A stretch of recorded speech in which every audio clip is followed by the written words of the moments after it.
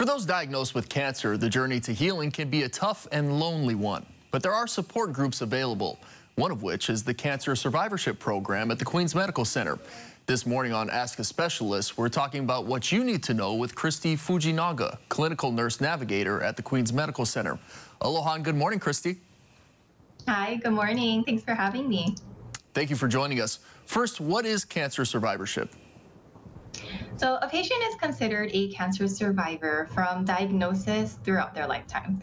And the Queen's Cancer Survivorship Program's purpose is to provide comprehensive care that addresses the many effects that can occur after cancer, including um, navigating life experiences after cancer, managing long-term and late effects, addressing physical and psychosocial effects, screening for recurrence, and maintaining wellness. Okay.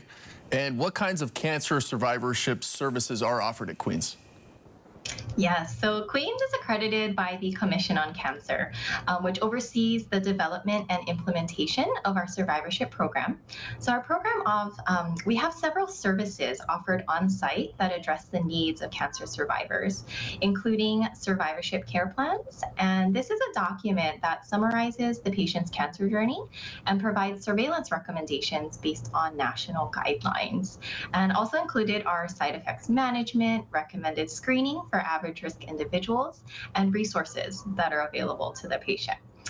Next, we also have seminars for survivors. So every year, our Cancer Survivorship Program hosts two seminars specifically addressing cancer survivorship topics.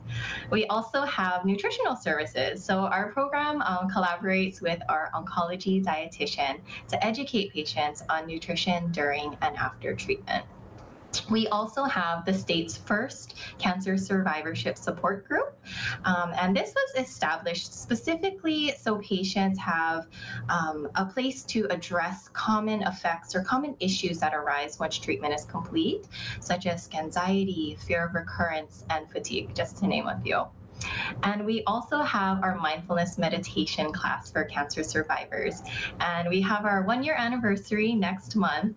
Um, so that's very exciting. Uh, the National Ca Comprehensive Cancer Network, or the NCCN guidelines, they specifically reference mindfulness meditation for many common effects, including anxiety, depression, trauma, distress, cognitive function, fatigue, sleep disorders, and many more. So our program hosts a monthly virtual class um, that's facilitated by, by one of our amazing chemotherapy nurses.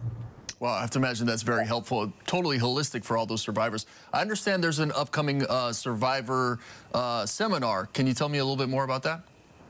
Yes, so um, I'm very excited to be hosting um, this month's seminar.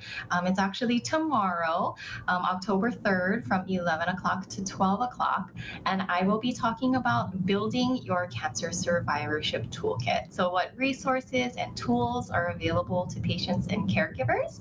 Um, so it's open to all patients, all of their caregivers, and um, anyone who's interested in joining. so if anyone wants to register, they can register at www.queens.org/events. Okay, great. That's fantastic. And to learn more about Queens Cancer Survivorship Program, you can visit www.queens.org. You can click on services and then click on cancer, or you can just call 691 7138.